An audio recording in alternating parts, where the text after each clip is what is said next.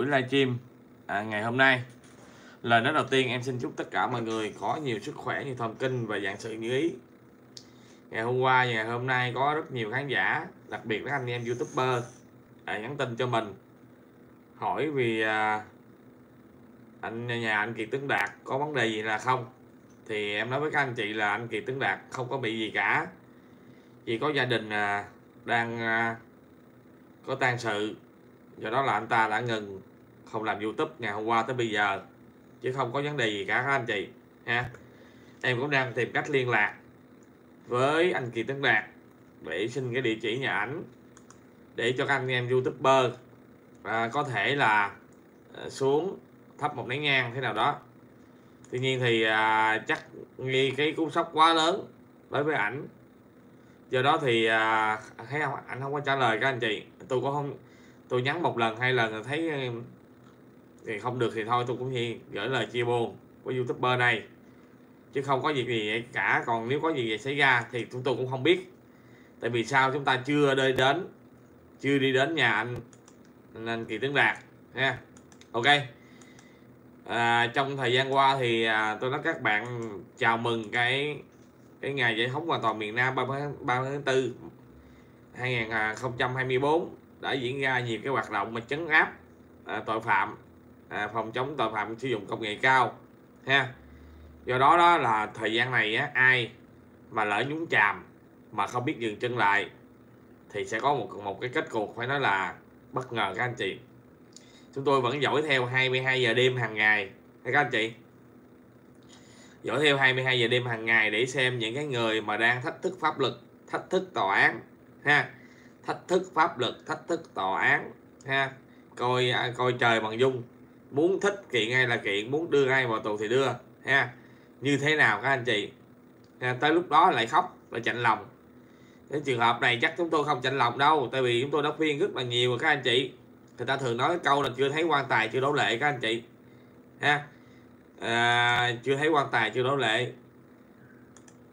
Mới đây thôi thì à, em nói các anh chị trên không, à, trên không gian mạng đó bắt tùm lum hết bắt tùm lum tà la căng quá trời căng. Các anh chị căng quá căng. Chỉ có 10 triệu đồng thôi mà bị 12 năm tù. Do có hành vi chống phá lật đổ chính quyền à, của một số các thành phần phản động mà nó mau lôi kéo người Việt Nam của chúng ta. Chúng ta lúc đó chúng ta đừng có khóc chúng ta đừng có nói rằng á là do chúng ta thế này chúng ta thế kia nghe các anh chị? Ok, tất tất nhiên thì tôi nói các anh chị. Cuộc sống á, thì không ai có thể là chọn cho mình một con đường tốt nhất để đi. Tuy nhiên, các bạn là cái người quyết quyết định đi, có nên đi con đường đó hay là không. Ha. Ok, ngày hôm nay thì em sẽ cho một cái tin tức cũng rất là căng thẳng vào cái sự việc khởi tố cả 18 người trong một cái câu chuyện mà đem cái quan tài đi đòi nợ. Chúng ta tưởng ở trong phim không chứ, nhưng mà thực tế ở ở ngoài nó cũng có các anh chị. Xin chào khán giả dân nguyễn xin chào uh, hiệp phan cục cưng xin chào khán giả nguyễn trinh. Đó thì em nói các anh chị á, lò đã nóng rồi ha. Trong thời gian qua lò đã nóng ở trong giai đoạn này đó ai mà hó hé là lụm lò lụm liền chứ không nói nhiều. Các anh chị đó là gắng cố gắng ha. Gắng cố gắng à, uống lưỡi bị tắm lần khi lên không gian mạng. Đặc biệt là những cái chị mà bán rượu đó coi chừng á theo à, nguồn tin của báo người lao động á thì à, công an thành phố phan thiết á, tỉnh bình thuận đã ký quyết định khởi tố vụ án khởi tố bị can. À, 18 người trong vụ án mang quan tài đi gây áp lực đòi chủ nợ à, chủ hội à, để điều tra về hành vi gây rối trật tự công cộng. Tức là 18 người này muốn cho chủ hội ha trả tiền cho mình. Đã gây áp lực bằng cách đó là mua quan tài đặt trước cửa nhà ha nhưng mà ờ, kết cục là không biết là có trả tiền hay là không nhưng mà họ đã trả giá các anh chị. Theo đó công an đã ra quyết định khởi tố 13 bị can gây rối trật tự công cộng theo khoảng 2 điều 318 bộ luật hình sự. Đây là nhóm bị can tham gia bàn bạc góp sức trực tiếp để mang quan tài ảnh thờ giấy vàng mã đến nhà chủ hội Ngô, Ngô, Ngô Thị Loan Chi 1991 hộ kinh doanh bao bì gia vị trên địa bàn phường Lê Văn Phấn thành phố Phan Thiết để gây áp lực đòi nợ cơ quan cảnh sát điều tra công an thành phố Phan Thiết cũng đã khởi tố thêm 5 đối tượng gây rối trật tự công cộng theo khoảng 2 điều 318 nhóm đối tượng này bao gồm cả người tham gia bán quan tài. Thợ ảnh bị khởi tố để điều tra với vai trò đồng phạm. Tất cả các bị can được áp dụng biện pháp ngăn chặn cấm khỏi nơi cư trú. Theo điều tra ban đầu, do bức xúc ờ, trước việc chủ chủ hội Ngô Thị Loan Chi đã đã đi khỏi nơi cư trú, trưa ngày 10 tháng 11 2023 hàng chục người chơi hụi mang theo quan tài vàng mã kéo đến trước nhà bà Chi để gây áp lực đòi nợ. Tại căn nhà của bà Chi dù đã đóng kín cửa nhưng các con hụi vẫn mang quan tài chuối xanh cáo phó kèm theo khung ảnh thờ là hình của bà để bà Chi để đặt trước cửa nhà. Đến ngày 18 tháng 11 cơ quan sát điều tra công an thành phố Phan Thiết đã tống đạt quyết định khởi tố bị can thi hành lệnh bắt tạm giam đối với bà Ngô Thị Loan Chi về tội lừa đảo chiếm đoạt tài sản liên quan đến đường dây hụi hàng chục tỷ đồng trên à, địa bàn thành phố Phan Thiết. Hiện cơ quan cảnh sát điều tra công an thành phố Phan Thiết đang tiếp tục mở tra mở rộng vụ án. Các bạn thấy cái trường hợp bất ngờ nhất trong cái sự việc mà khởi, khởi tố vụ án này á là khởi tố luôn cả cái người bán à, bán, à, quan tài và cái người chụp hình tham gia với vai trò giúp sức đồng phạm các anh chị thấy, thấy, thấy ghê không đó do đó là tôi nói các anh chị không điều gì là không có thể các anh chị nha. Nghe thông tin này à, tôi tôi nghĩ rằng à, cái chị à, cái chị chùm cao tốc á, ha, chắc cũng lạnh lạnh người.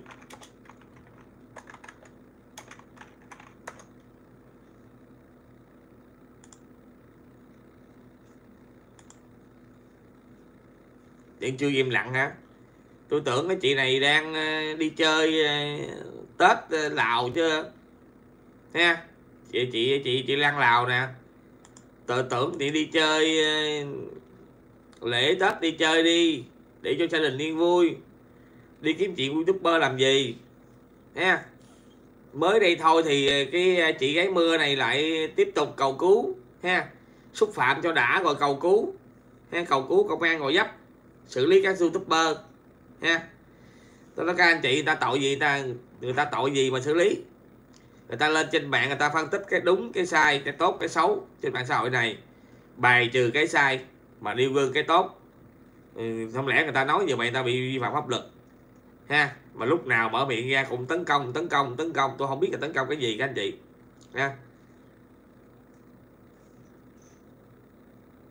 Đây nè mới đây thôi cái chị à, cái chị Lan rào à, chị Lan Cao Tốc chị yêu cầu à, công an Gò Dấp xử lý à, hai Quảng Châu và Thanh Quyền Lóc nha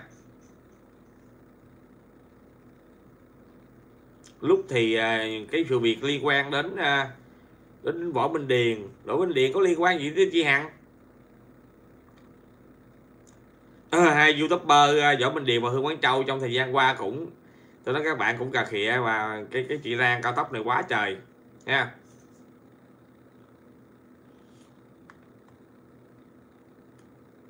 trên bài báo công an à, thành phố Hồ Chí Minh thì cũng đã cũng đã cho ta biết à, báo động về cái sự việc mà vấn nạn sử dụng mạng xã hội để giải quyết tranh chấp. Chúng ta phát hiện một hành vi của ai đó sai trái, ha. Chúng ta có thể lên phản biện cái hành vi đó thôi, chỉ hành vi đó thôi, chứ chúng ta không được nói quá cái cái sự việc đó, ha. Tại vì chúng ta đã qua khoảng chừng ba cái phiên tòa rồi. Phiên tòa sơ thẩm phúc thẩm của chị Hằng rồi phiên tòa sơ thẩm của chị Hằng Ni. Thì tóm ngược lại là chúng ta có quyền phản biện lại phản bác lại những cái những cái vấn đề mà người ta người ta nói về mình là phản bác lại vấn đề đó thôi. Chứ chúng ta không được nói leo qua vấn đề khác nhằm xúc phạm danh dự người khác. Và chúng ta có thể là dùng cái biện pháp khác ha? Chúng ta dùng cái biện pháp khác để mà chúng ta uh, phản biện lại. Đó là chúng ta được quyền ha? Chúng ta được quyền tố cáo tố giác người đó. Ok xin chào à, khán giả Nguyễn Gia Luật Nguyễn Giang Luật. Nguyễn Quang Lực xin lỗi. Xin chào chị Tirali, Ly xin chào anh Hồ Quốc Đức xin chào khán giả Thảo Nguyên. Xin chào anh Nhân Lê. Xin chào anh Nguyễn Thanh Phong xin chào khán giả Dân Nguyễn Dân Nguyễn quen quá. Ha xin chào Cục Cưng xin chào các Nguyễn Nguyễn Trinh ờ, thì em nói các anh chị à, chúng ta có quyền phản bác lại trong cái phạm vi mà cái người đó nói không đúng với chúng ta. Và chúng ta có quyền tố cáo tố giác những hành vi những nếu mà những người đó xúc phạm uy tín danh dự của chúng ta chứ chúng ta không được đi quá đi quá cái giới hạn cái sự việc mà chúng ta tạo ra một cái chúng ta tự tạo ra một cái drama chưa kiểm chứng và chúng ta lôi những người khác vào câu chuyện của chúng ta các anh chị ha. Ở đây thì à, tôi thấy là chị Lan cao tốc này để đi quá xa ha. Nghe lại những clip của mấy năm cũ á tôi không có nghe các anh chị ha chị bảo rằng là có đại gia, quen gì đó, mấy chục tỷ gì đó, tôi nghe tôi mắc cười vô cùng. Thì từ đó tôi đánh giá là cái chị này, cái cái cái vấn đề mà phản biện bên xã hội quá kém. Ha, chỉ biết chửi người ta thôi. Hôm nay không đi làm sao em trai? À em à, đổi à, thời gian à, đi làm mà tới 8 giờ các anh chị. Do đó em sẽ like tới 7 giờ 7 rưỡi. Vì đi sớm cũng không không không làm gì cả. Bên em đã đổi thời gian đi làm rồi. Không biết là à, có giảm lương hay là không thì không biết thôi kệ. Gán làm thôi chứ cái biết sao bây giờ. Hôm nay à, lên là like hơi trễ. Do đó là lúc 9 giờ sáng hôm nay thì chắc không không có công tích không không có video clip kịp các anh chị. Dạo này thay đổi thời gian đi làm do đó là cái công ty nó sẽ siết chặt thời gian đi làm này lắm. Đó. đi vô trễ một phút là xong hàng các anh chị. Tại vì đã dời cho tới 30 phút thì chúng ta tranh thủ thôi đó thì em nói các anh chị á, trong à, thời gian qua ha những cái người mà không có công an việc làm ha đi lên thăm mì thóc chọc bị gạo. Tới giờ cuối họ bỗng nhiên họ phản phái họ bảo rằng á, là họ đã âm thầm bảo vệ chị hằng ha tôi cũng cũng bó tay với, cái, với những, những trường hợp này các anh chị ha? Giữa à,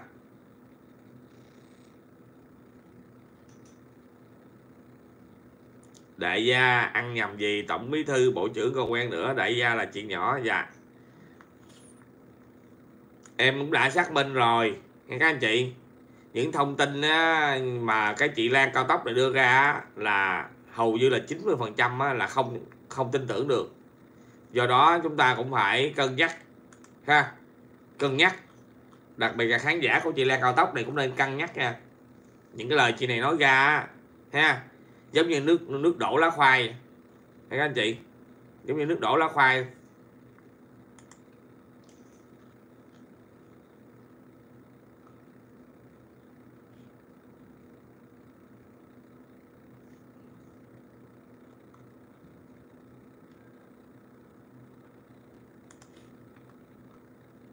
Hôm nay á, là vẫn còn à, tết của người lào đó.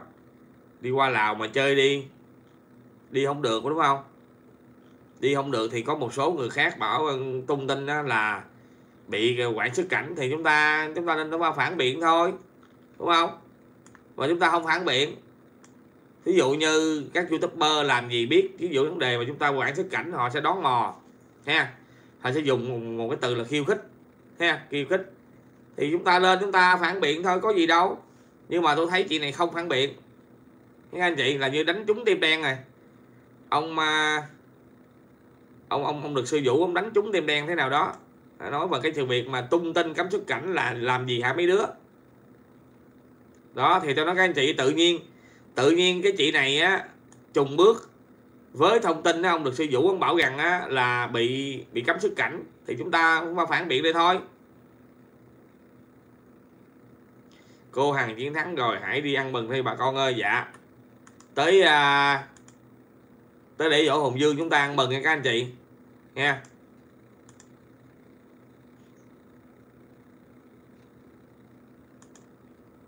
Trong uh, drama này anh em cũng sức bất sang ban bản thân tôi thì cũng chưa có được một cái ngày lễ nào mà được cho nó trọn vẹn.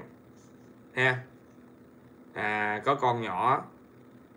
Có à, lúc mà lên à, lên muốn lên thăm chị Hằng thì con nhỏ nó bị bệnh khán giả đi xuống thăm offline á ha thì đi khám bệnh cho con ha. Tới hồi mà chị hàng ra to á thì mẹ bị bệnh ha cũng không hiểu, hiểu sao luôn. Có nhiều khi khán giả hiểu á, cái tính của phương game mobile thì khán giả bỏ qua còn không thì thôi. Nhiều khán giả bảo rằng là mình cứ nổ mình cứ nổ mà mình trốn tránh ok? Mình sẽ hẹn lại gặp các bạn trong cái ngày 30 tháng 4 năm 2024 các anh chị tôi cũng gắng cố gắng tôi lên cái ngày đó ha. Không lên được ngày đó thì cũng phải tìm cách làm thế nào đó. Nhiều khi nói trước nó bước không qua khổ quá bỏ đi. Bây giờ tới thông tin anh anh kiệt ha, gia đình gặp cái tang sự nhắn tin cho anh con không được. Thường thường là mình nhắn tin cho anh trả lời liền. Anh em ít khi nào á, mà nhắn tin với nhau lắm. Có cái việc gấp nào nhưng mà rõ ràng là ngày hôm qua tới ngày hôm nay. Thì à, coi như là có thể là có những cái bất ngờ hay bất ngờ khác. Nhiều anh em à, youtube cũng đã hỏi mình á mình thân bên kỳ tướng đạt á có biết địa chỉ nhà ảnh không? Thì à, tôi nói các anh chị á, đi tới an giang hỏi ta đi chứ biết sao bây giờ nếu chúng ta muốn làm thì chúng ta tìm mọi cách. Còn chúng ta không muốn làm thì à, chúng ta không làm thôi các anh chị.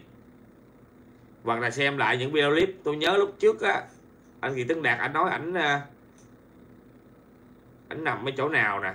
Ngay ngay ờ, như anh anh phạm trực anh biết đó. Anh phạm trực anh biết là ngay cái ờ, ngay, ngay, ngay cái chợ an giang luôn á. Đèn bốn ngọn ba ngọn vậy đó các anh chị. À, thân gì hai anh em mà. Tôi cũng không có ở đây thì mẹ cũng chưa xuất viện các anh chị những việc là những cái tôi nói như vậy á không phải là tôi lợi lý do. Tôi cũng nói như vậy để cho các bạn biết rằng là tôi cũng có một một cái, cái khổ tâm ở trong lòng. Ha? Có những cái khổ tâm trong lòng mà không nói ra. Không lẽ giờ giống như thằng à, Đạt Phong á lên trên mạng than khóc than khổ thằng này thằng kia đồ. Con à, con muốn đi uh, du học. Nghe nói con muốn đi du học mà tôi gùng mình ủa, mày làm cái gì? Tiền mày thu nhập một tháng bao nhiêu? Mà mày đòi có con mày đi du học. Rồi mày đòi con rồi mày đòi mày đi du lịch qua mỹ nữa. Mày ảo tưởng vừa thôi, nha. Người ta làm giám đốc đây mà con người ta đi du học. Du học là phải tốn tiền tỷ đó các anh chị. Tiền tỷ là phải từ 4 tỷ trở lên á. Tại nhà tôi có có một mấy cái đứa cháu đi học các anh chị ha cái tiền đóng vô đầu tiên luôn các anh chị ha, cái tiền đóng vô đầu tiên luôn á, là phải một tỷ hai á. Ha, một tỷ hai mà qua bển cái môi trường đi học khắc nghiệt lắm không phải giống như bên đây. Không có khắc nghiệt gì mà có cái quan điểm sao? Không có phải là cái đại gia thì đừng có đi học. Tiền ăn, tiền uống, tiền học, tiền hành, tiền này, tiền kia, tiền a, tiền b, tiền c, rất là nhiều các anh chị, ha. 4 4 tỷ, mà cái đó các anh chị 4 tỷ á, bằng một cái cơ nghiệp, ha bằng một cái cơ nghiệp mất tiêu rồi. 4 tỷ đó chúng ta lấy để mà chúng ta làm cái đề kinh tế cũng ngon hơn là cho con chúng ta đi đi, đi, đi du học đúng không?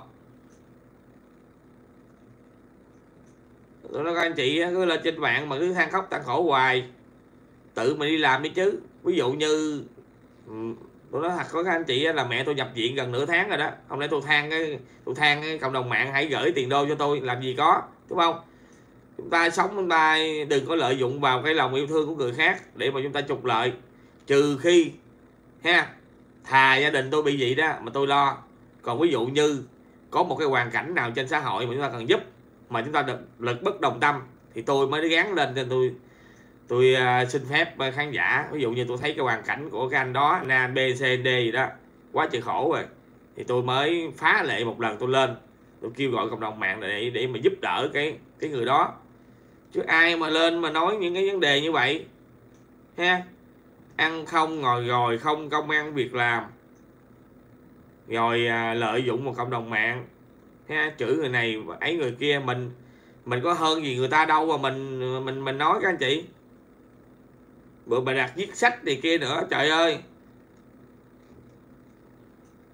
Cái vấn đề này tôi quá quen rồi. Hỏi anh thử anh anh anh anh anh anh điền vlog thử xem. Lúc tôi làm youtube á, lúc lúc thằng à, à, thằng thằng thằng thằng Tấn Hiệp làm cái gì?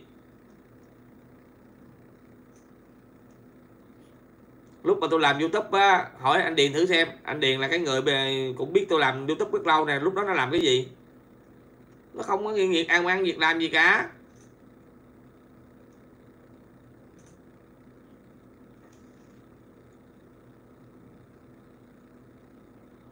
Ờ, đó, tôi nói các anh chị ờ, cháu ờ, cháu em á, là học bên đó có 2 năm mà. Mà một tỷ tám đó đóng vô đầu tiên là một tỷ hai mà chưa nói nha. Chưa nói nữa. Chưa nói là cái gì? Chưa nói á, là cháu của mình á là nó dạng như vừa đi học vừa đi làm đó. Nó đi làm trong cái quán cà phê đó. Nha nó có tiền tiếp này, này kia đồ một tiếng đó là 12 đô. Các anh chị? Một tiếng là 12 đô. Heo chân. Giờ toàn lừa đảo hết cầm xe rồi tới dược hội. Sắp tới là tới phản động nữa. Các anh chị đừng có lo, khán giả hào trần đừng có lo nha. Sắp tới sẽ bắt những cái thằng phản động núp bóng là youtube, ha. Và bắt hết, chứ không chừa thằng nào cả. Nha khán giả hào trần đừng có lo cái vấn đề mà cầm xe giật hụi á, chuyện bình thường. À, tôi sợ là bắt tới cái youtuber á, mà lên trên mạng tưởng nhỏ đạo đức tôi sợ như nhiêu thôi. Sắp tới là bắt những cái thằng mà à, coi như là ngủ trong chiến thắng á ha. Nó tưởng nó ở là nó lên livestream là bốn năm ngàn người rồi mấy người đó bảo vệ cho nó được ha. À, đứa cháu mà đi qua nó qua úc nó học á đúng rồi hoàn toàn chính xác anh hồng đức nó toàn chính xác. Vừa học vừa làm vừa lạnh. Một ngày phải ngồi á là cái xe cái xe đen cái um, tàu điện á tàu điện á gần 200 cây số mới tới chỗ làm. Nửa tiếng đồng hồ bữa nào nó có điện cho mình nó sợ nó ngủ quên. Nó sợ nó sợ nó ngủ quên cái tàu điện chạy hút cái là chết luôn á. Ha là coi như bữa sau bỏ học luôn á. Gần tới 11 12 giờ đêm mới về tới nhà. Ha? 9 giờ sáng mở mắt ra tới 11 12 giờ đêm mới trở về nhà tắm rửa tại cái chỗ mà à, học luôn rồi đi làm chứ không kịp trở về nhà các anh chị. Ha à, mà số tiền đổ ra rất là khủng. Tới một tỷ mấy á. Đó do đó tôi nói các anh chị giàu thật là giàu thì mới ha à, giàu thật là giàu thì mới có thể là là trang trải cuộc sống được. Ok em xin à, kết thúc buổi livestream tại đây. Em đã làm hố 6 phút rồi các anh chị trễ giờ làm cái vô làm không được, các anh chị nhớ bấm like, subscribe một em, các anh chị nhé. Nói tóm lại là anh Kiệt Tấn Đạt gặp sự cố là do gia đình ảnh có tan sự thôi, chứ không có vấn đề gì cả. Còn có những vấn đề khác mà khó nói, em sẽ ờ, phát lại cho các bạn trong những buổi tin tiếp theo. Một lần xin cảm ơn tổng chào cả nhà. Bye bye. Nhớ bấm like, subscribe một em, cả nhà nhé.